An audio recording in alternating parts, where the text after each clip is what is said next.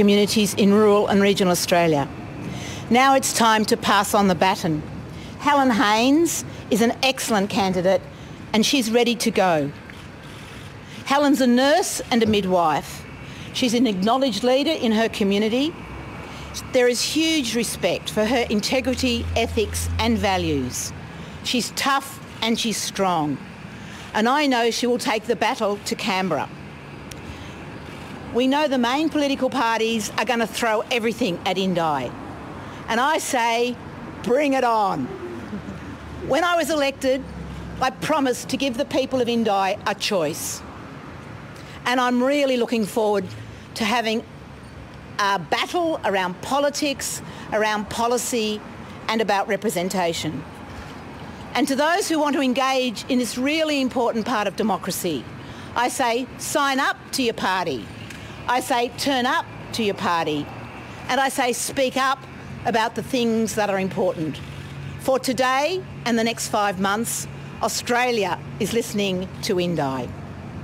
And for me, tomorrow, I'm going to meet the Prime Minister and I'm going to talk to him about what needs to happen for rural and regional Australia and in particular for this really important city, one community, two cities of Albury-Wodonga, seeking his support for a regional deal which will bring the Commonwealth, state and local government together so that we can really reach our potential as a community.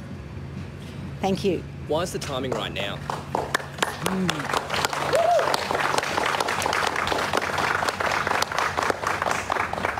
So the timing is right now because the right person has put their hand up to, with confidence and conviction, she's been supported by the community and the community have said we're ready for the changeover. And I'm always one to respect my community. I've said I'm open for the timing of this, but clearly the timing is right and Helen's the right candidate. When did you come to that decision? Was it after Helen was selected on Saturday or had you come to that decision earlier? So clearly I've been thinking about when the timing is right. Is it this election or the next election? And yesterday I rang around my colleagues on the crossbench. I spoke to the Prime Minister, I spoke to the Leader of Opposition and had conversations with them. And they thanked me for the work I've done. They wished Helen well. Um, and they said we're going to have a very fierce competition in Indi. So that really did uh, coalesce for me that the timing is right to give the people of Indi a choice again, against good candidates and I hope good policy. Can uh, Helen retain the seat, Cathy? Oh, I have every I, I have every belief that the people of Indi will rise to this, that they will find in Helen the characteristics they need and more. And I think something else will happen.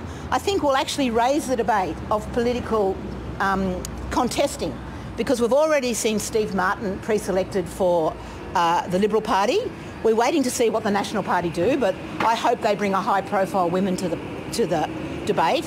And then not only Helen, but the community of Indi can say, here's what we want from our representatives. And I absolutely know they want effective delivery of services, such that I'm promising for Albury-Wodonga. They want more mobile phone towers. They want the train fixed up. But they want someone who'll engage with the community and be their representative.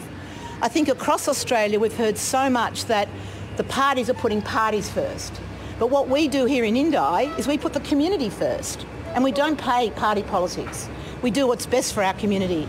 And hearing Helen speak on Saturday and the support she won from the community, I absolutely know she's got that. Now that's probably enough. What? Should I pass on to? Would you like to see Bridget McKenzie race in Indi? I, I, don't have a, I don't have a preference of who runs. I think we've done our job of giving the people a choice and now it's up to the party to put their best foot forward. But it, I know it will be a fierce debate. Um, I've met with um, the Liberal Party candidate and I know he's up for it. Um, the Labor Party candidate is certainly up for it, so who knows what the National Party will do. But that's probably enough from me and I'm very happy now to pass over to Helen and give her her first chance meeting the media contingent of Albury-Wodonga, North East Victoria and Southern New South Wales. Please make her welcome.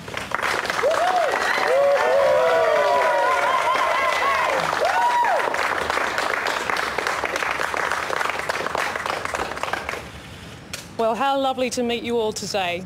Thank you so very much for coming out in such numbers. First of all, I want to really thank the 200 people who came out in such numbers on Saturday in Benalla. people who were really willing to take a brave decision to do something completely different in Australian politics. And that is to, to use their intuition and their knowledge and the love they have in their hearts for this community to, try to discern a person who is able to go forth with the work that Cathy McGowan has, has started so, so powerfully in this community and in the Australian nation actually, and that's around a community independent, an orange community independent.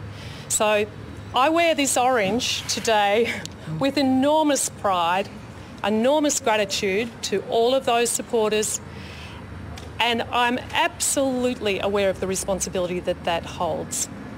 And I've been made aware of that responsibility because I've watched the leadership of Cathy McGowan. So if you're looking for someone in life to lead you, to give you some direction, you couldn't find someone much better than this woman here. Thanks, Helen. She has such integrity, such honesty, such commitment to purpose, such commitment to the local community, but with a national gaze. And that's what I plan to do too.